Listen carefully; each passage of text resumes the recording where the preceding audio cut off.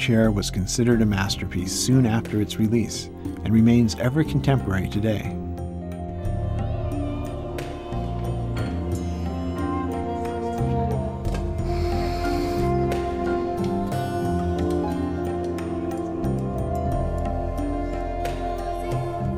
The chairs were designed by Charles and Ray Eames in 1958, jewels of a bountiful year.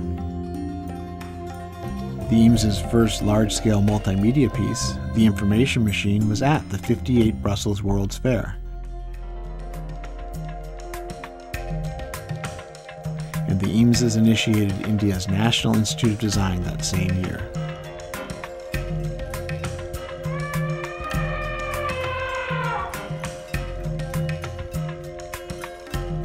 The Eameses saw no contradiction in such a diverse body of work, from toy elephants to architecture and everything in between. Indeed, that holistic vision of design was key to their process. Like many of their designs, the Alu Group began with a specific need. In this case, a plea from their friend architect Eero Saarinen. He could not find seating rugged and light enough for a new home he was designing. Charles and Ray saw the universal in that very personal and specific request. Throwing out preconceptions, Charles sketched a wholly new way to use tension to support the human body, and the Eames office began to experiment with cast aluminum, never really used before for furniture. Ray often said they wanted to design chairs where the act of mass production only made the design better.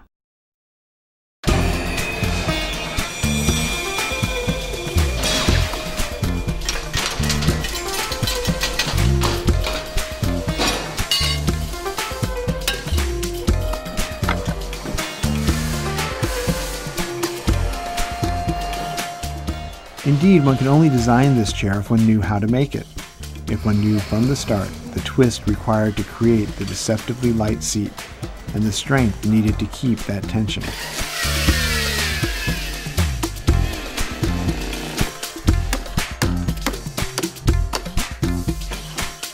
Such authenticity is not hidden in museums, but is made anew each day by the authorized manufacturer of Eames furniture.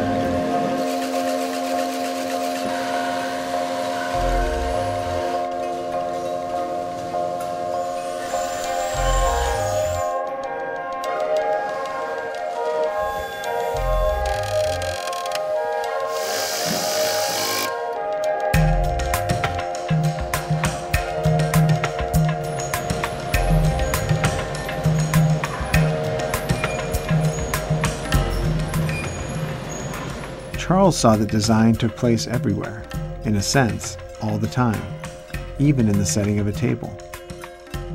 But with an object like a chair, it is almost a set of questions answered physically. Folk design also answers such questions without formally asking them, and admirable results can take generations.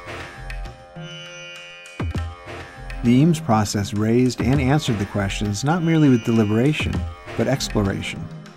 The Eames office never delegated understanding. They wanted their designs to flow from the learning. They made version after version, a kind of accelerated evolution, until the final design answered with what the Eameses called way it should be-ness.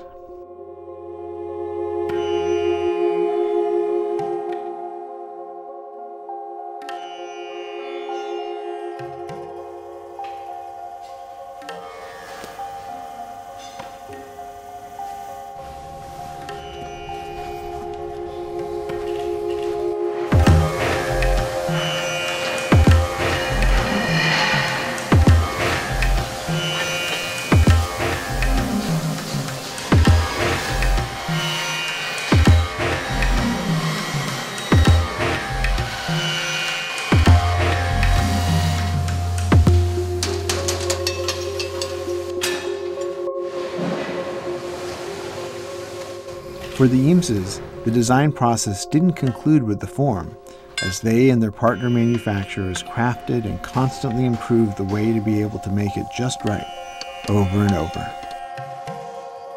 Things of beauty and value, mass produced as intended, as originals, the making and the designing seamlessly connected.